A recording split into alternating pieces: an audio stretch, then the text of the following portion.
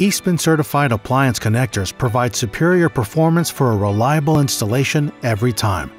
Manufactured in our own facility, Eastman products are made right, made to last. Selecting the right ice maker hose or kit for your installation is an easy but important first step. If your home does not have a supply valve pre-installed, then you will want to select an Eastman water supply installation kit that allows for easy access from an existing water supply line.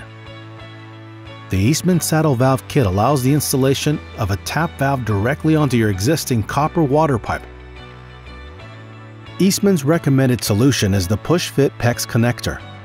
This kit allows for installation onto an existing PEX or copper water line by cutting the supply line and inserting the T-valve assembly and pushing the pipe into each push-fit fitting. The PEX connector kit provides a high-quality, trustworthy installation every time. If your home has a pre-installed supply valve, then you will simply need a high-quality Eastman braided stainless steel supply line. Connect the quarter compression nut from either end of the hose to the valve from the home. Hand thread to start the nut, being careful not to cross-thread the connection. Next, use a crescent wrench to gently snug the compression nut approximately half turn.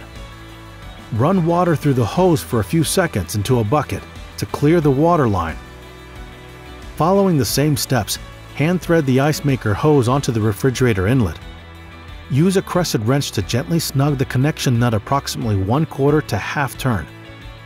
Turn on the water valve from the home and check for leaks at both the valve and the refrigerator inlet connections.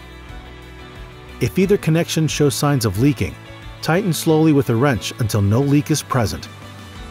Using a large cup, Run water from the water dispenser to allow all air to purge from the refrigerator line. Now you can safely return the refrigerator into its position against the wall.